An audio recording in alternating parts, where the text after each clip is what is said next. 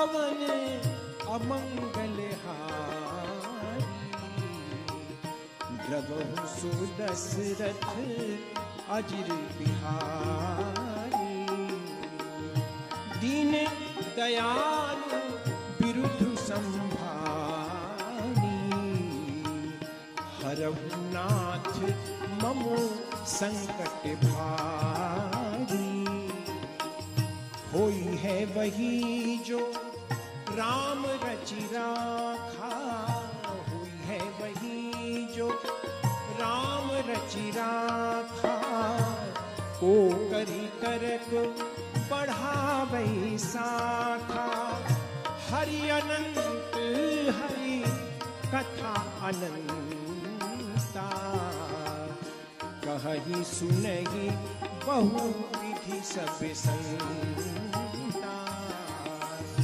जाकी रही भावना जैसी।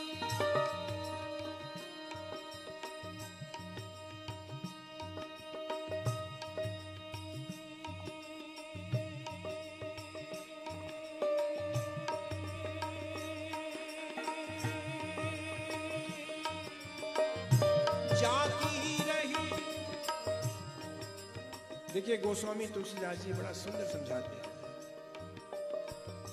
जिसकी जैसी दृष्टि होती है, उसको सामने वाले की वैसी ही मूर्त दिखाई देती है। रामचरित मानस हमें कदम कदम पे बहुत कुछ सिखाता है। इसलिए अपनी दृष्टि को, अपनी सोच को हमेशा पॉजिटिव रखिए। नेगेटिव सोचोगे तो आपको सामने वाला नेगेटिव दिखाई देगा। ये रामचरित मानस हमें जीना सिखाता है। जाकी रही भावना जैसी प्रभु मूरत देखी तिन तैसी।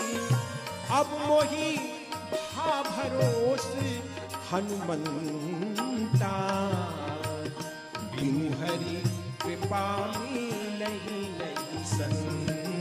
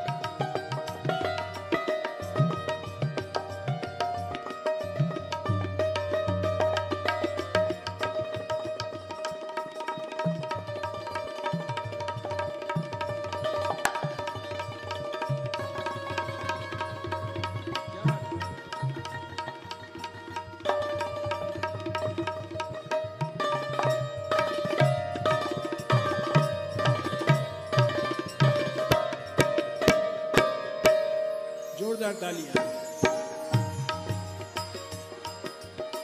सुनु जननी सोई सुत बड़े भागी। भगवान राम को वनवास हुआ। माँ कौशल्या परेशान है। माँ का हृदय है। राम को रोक रही है। कहने लगी, बेटा तू वन में कैसे रहेगा? कोई बात नहीं, पिता ने कह दिया, तू मत जा। लेकिन राम कितनी सुंदर बात कहते हैं। कहते हे माँ, इस संसार में वही पुत्र बड़ भागी है जो अपने माता पिता के चरणों का अनुरागी है। सुनु जननी सोई सुत बड़ भागी, जो पितु मातु वचन अनुरागी। निर्मल मन जन सो मुहि पाई मोही कपट छले निभावा पूज्य महर्षि महेश योगी जी, को राम राज की चौपाइयाँ बड़ी सुंदर लगती थी। क्योंकि वो चाहते भी थे कि पूरे संसार में, पूरे विश्व में राम राज की स्थापना हो। उनकी सोच कितनी बड़ी सोच थी। महर्षि ने अपने लिए नहीं सोचा, पूरे संसार के लिए सोचा। रामराज में ऐसी क्या विशेषता थी जो महर्षि चाहते थे? रामराज में कोई दुखी नहीं था, कोई दरिद्र नहीं था। किसी व्यक्ति की अल्प मृत्यु नहीं होती थी। सारा समाज आपस में प्रेम, भाव और मोहब्बत से रहता था। और यही महर्षि जी का सपना था। तो आइए कुछ पंक्तियाँ। गुरुदेव के श्री चरणों में अर्पित करता हुआ आपको सुनाता हूँ। दैहिक, दैविक, भौतिक तापा, राम राज नहीं का ही व्यापा। सब नर करही परस पर प्रीति चलहि स्वधर्म निरत श्रुति चरण धर्म जग माही, पूरी रहा सपने हूँ अघनाही। राम भगति रत नर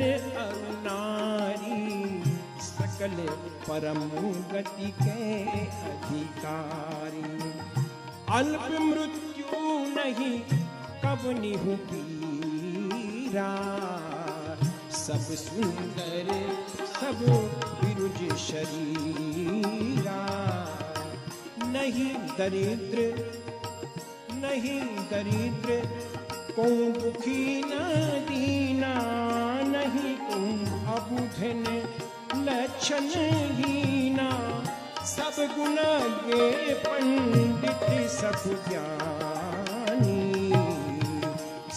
सब के नहीं कपट सयानी। मंगल भवन अमंगल हारी। प्रभु सुदशरथ अजर बिहार।